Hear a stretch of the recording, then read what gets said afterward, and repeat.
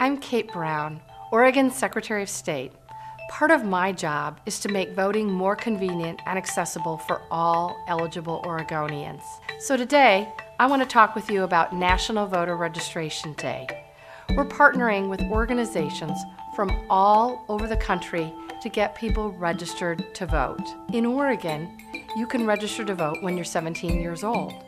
So even if you turn 18 on election day, you will automatically receive your ballot in the mail. It's really easy to vote, and our vote by mail system is the most secure and transparent system in the country. Time is running out.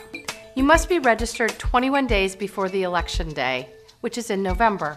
So if you're 17 years or older, please consider filling out a voter registration card. It's really easy. You have to declare that you're a citizen of the United States and that you're at least 17 years old. If you can answer yes to both of these questions, move ahead. Fill in your name, address, and birthday. If you have a driver's license number, you'll need to provide that. And if you don't, just fill in the last four digits of your Social Security number. Then, if you want, choose a political party to affiliate with, but you don't have to. Finally, sign your name. That's it.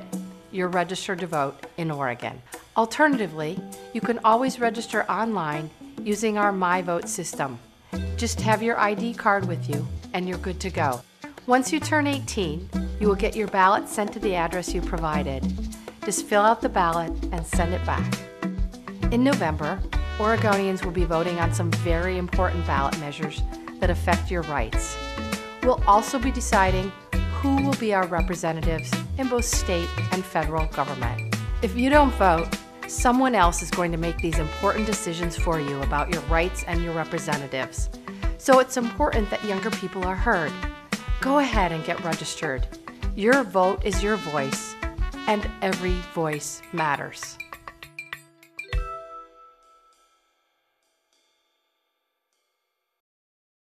Hello, I'm Perez Hilton. Did you know that more people in the United States check their Facebook and watch the Super Bowl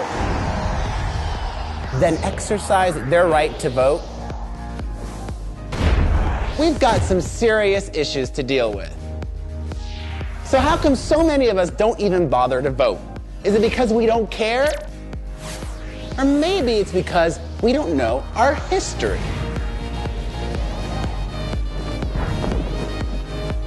So let's go back, way back. Our country's first election came after fighting for our independence, a fight that cost many lives, but it was worth it because instead of being ruled by a king, we were finally able to make our own laws. But not everybody was allowed to participate. You see, back then, you had to own property, be white, and a man in order to actually vote. Now, things continued that way for about 80 years, until after the Civil War, when slavery was abolished and